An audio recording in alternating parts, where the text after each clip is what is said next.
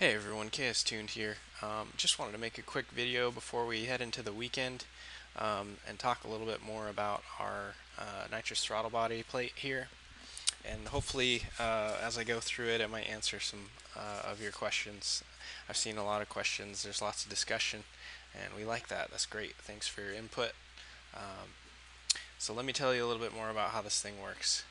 Um, first off, we want it to function well. So um, I'm going to zoom in here and we're going to have a look at where the fuel and the nitrous is introduced into the airflow. So you'll see these small holes uh, drilled here at the bottom of the bore.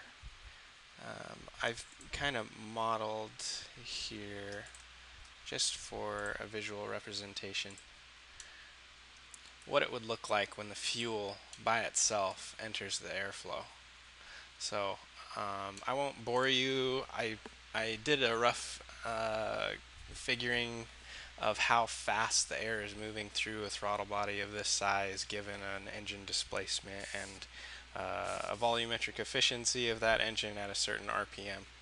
And uh, nominally speaking, it's about 60 miles an hour. Okay, that's going to vary a lot, but I just wanted to uh, kind of help illustrate something for you.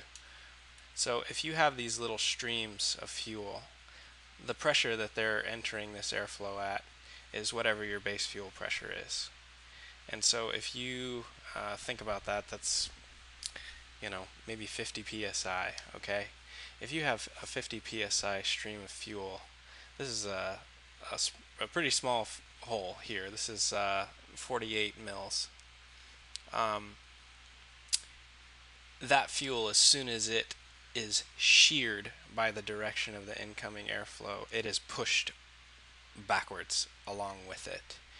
And if we bring in the second row of jets, so right behind those is where the nitrous uh, is introduced into the airflow.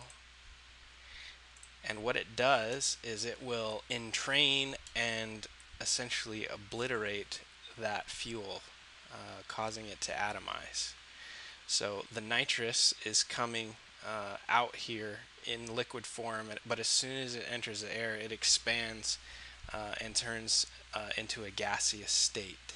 And the process of doing that, um, there's lots of pressure and velocity. The velocity of the nitrous jet is very high, um, and so the combination of having the fuel injected right in front of that and then the fuel stream getting hit by that jet of nitrous uh, causes uh, atomization to occur. Now, there's lots of discussion had, uh, and the points are very valid. Uh, I don't have any data to show otherwise, but we intend to do the testing on it. Um, and that, that pertains to, well, how well does it mix and how well does it distribute to each cylinder? So um, we have uh, we are currently working on uh, getting a development car uh, here to work with, and uh, when we have our plate made, uh, our concept plate, uh, we'll be installing it on that car, and we will also install dedicated O2 sensors to each exhaust runner, and we will log air fuel ratio over the entire RPM range uh, and then we will also do that for different uh, shots. So, you know, a small shot, relatively speaking, uh, maybe we don't see any variation uh, in distribution to each cylinder, but as the shot is increased, maybe we do. Again, it's all speculation at this point. I, I don't have any data to say otherwise. Um, but we intend to collect the data and we will share all of that with you guys. Um, so we'll see what we find out. Um, I'm going to hide this just for a minute. So the plate itself, we have the solenoids built in. And what that does, uh, as far as installation goes, is it, it makes the, the installed footprint much smaller. Um, fittings, as you can see here, they're rigid, uh, and the connections to them, usually, you know, the flex line uh, also has uh, at the end of it a portion which is not flexible yet and it just uh, so you if you if you're limited on space which uh, you know we're trying to design something as compact as possible here. So uh, this this way of doing it, where we integrate the solenoid into the plate, eliminates the output fitting uh, in the system. The output from the solenoid is in the plate, so there's not an additional fitting that you have to mess with. Um, I've uh, been asked, well, how do you tune your shot? So um, these fittings here, it's a, uh, it's an NPT uh, thread uh, into the plate, and then AN. It's a, and it's a modified fitting.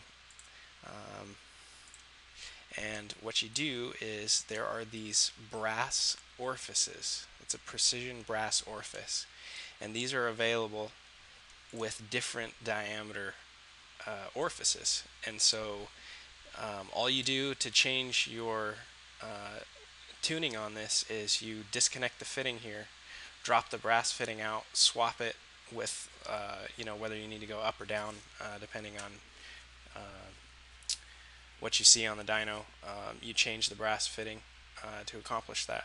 It's much easier to do this very quickly. It's a very quick thing to do. Um, I think the um, you know the direct port uh, uh, fogger uh, setups with the hard lines it it takes a bit of effort to change jets and so um, this way of doing it definitely makes that job you know much easier now let me so how do we actually route this stuff so if I open this so this is the plate. And let's just make it a little bit transparent. So follow with me here. This bore, this is for the inlet uh, fitting. And there are some cross boring uh, operations that happen here to allow that to come into the uh, solenoid valve chamber when the solenoid is actuated, the flow is allowed to, to pass down through this hole where you can see we have drilled again through the plate up and it intersects with another bore which is cross drilled from this side of the plate. So you can see there's two bores that run parallel here. The first again is for the fuel, the second is for the nitrous.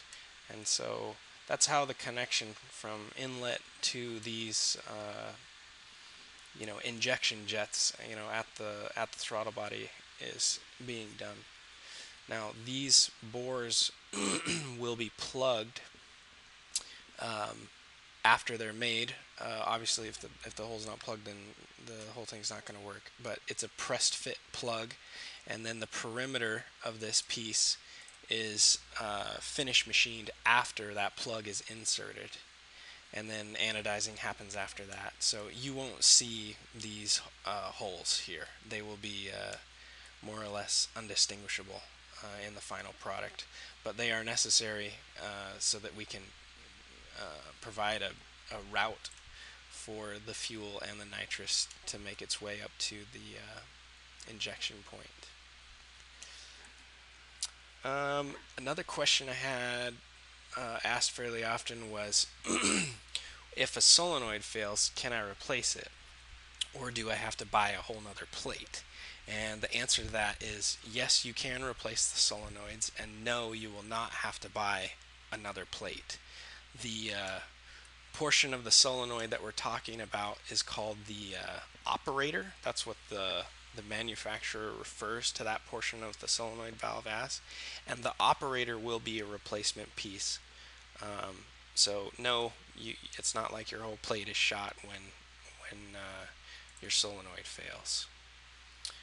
So again, installed is just uh, at the throttle body. You're going to have a loom for uh, power to each solenoid, and then there's one fitting here for nitrous feed and fuel feed. Tuning of those feeds happens with the brass orifice right at that fitting. Um, and overall, it, it offers a very uh, compact uh, installed footprint and something that you can tune very quickly. Um, you know, have, being able to access the jets like that um, is is nice. So anyway, that's about it. I'm sure there'll be more questions. Feel free to post those questions below this video. We will be watching it. Um, and until next time, you all have a good weekend.